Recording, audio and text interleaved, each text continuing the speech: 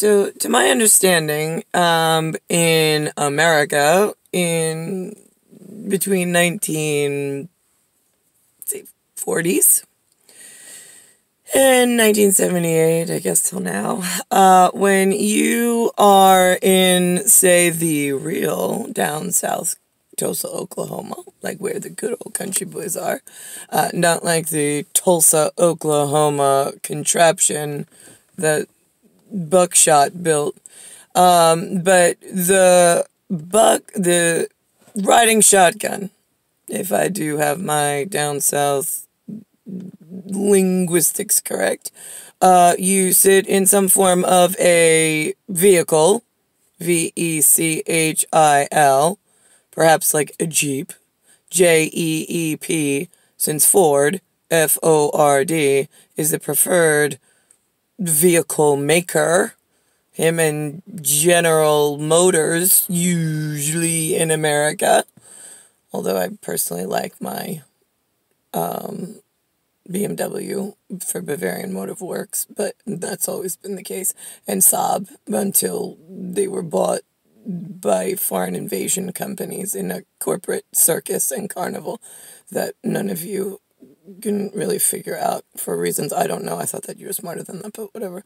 Uh, so okay, so we've got riding buckshot. No, we got riding shotgun, right? That, that very really tied in with buckshots from um, the birdies, right? If you were playing racket, R A C K E T, over a uh, net, N E T, and you were going to hit a birdie like some rich asshole that has nothing better to do than to come up with linguistic confusing shit for the hardworking Americans in Charlie and his chocolate factory of kingdom of shitheads, uh, then you would be hitting a rocket, birdie over the net. Yeah, yeah, yeah. Okay, so saw that one on the way in. Just want to make sure my good old homeboys down in the real Tulsa, Oklahoma, that's a state in United States of America that I do believe raises good,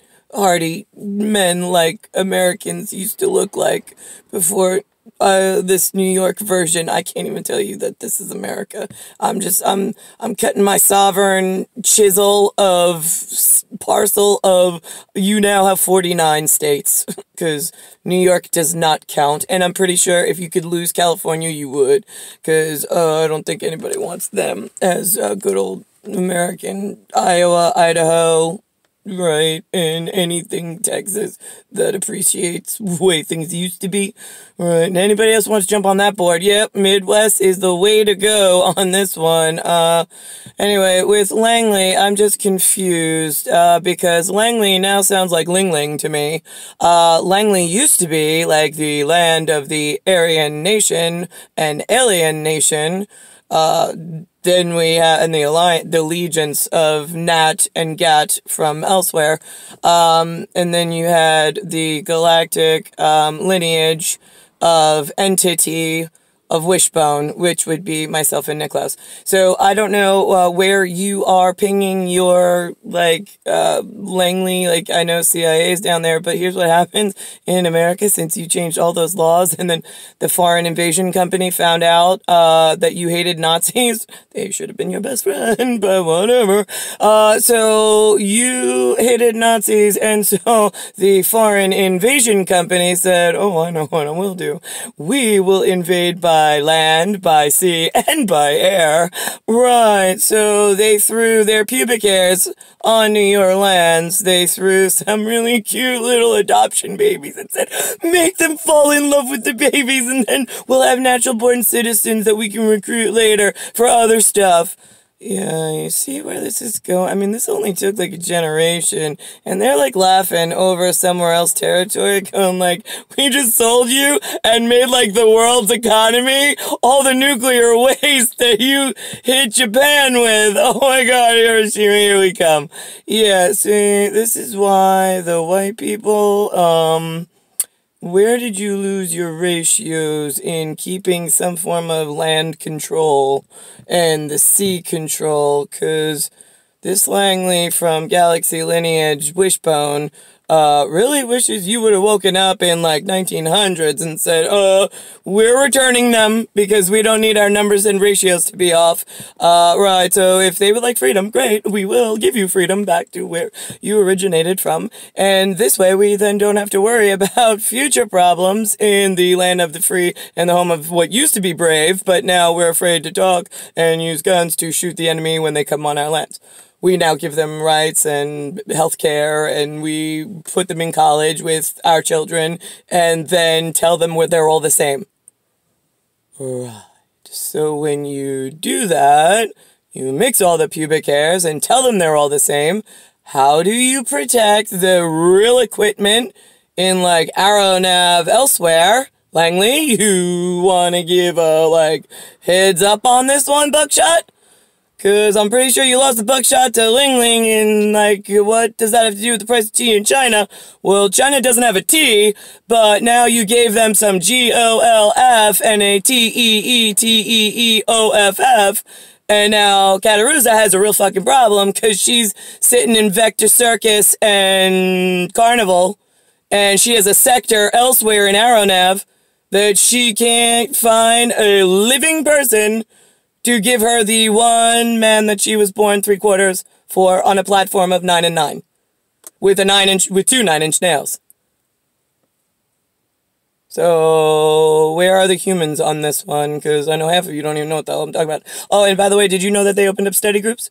S T U D Y G R O U P S following some back trail, they're not even allowed to know that my equipment exists. Why the fuck are they learning not only science? It used to be only Nazis could teach Aeronav science, and that was a given. You had to acknowledge that department in Aeronav Nazi science for Nazi society in order to learn about a oscillating hyper uh, hyperbole.